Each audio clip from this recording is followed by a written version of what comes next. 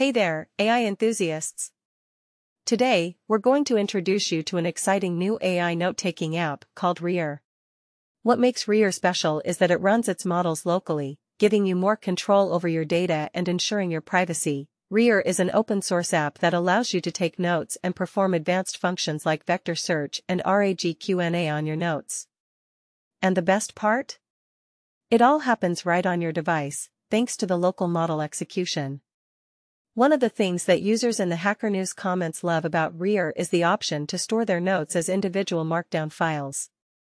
This approach offers several benefits over traditional database storage.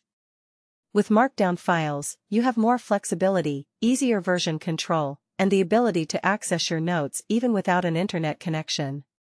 And speaking of control, Reor understands the importance of data ownership and privacy. By running everything locally, you don't have to worry about your data being stored on some remote server. It's all in your hands. Now, if you're already a fan of note-taking apps, you might be wondering how Reor compares to the competition.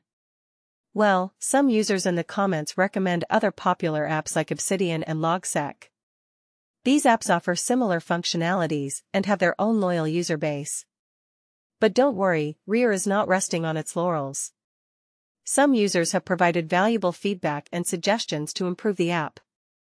For example, they would love to see support for multiple vaults, manual linking between notes, and even integration with browser history and bookmarks. With all these exciting features and potential improvements, Reor is definitely an app to keep an eye on. It's perfect for anyone who wants to take their note-taking game to the next level while keeping their data secure. So, what are you waiting for? Give Reor a try and let us know what you think in the comments below. And if you have any suggestions for other AI-powered apps, we'd love to hear them too.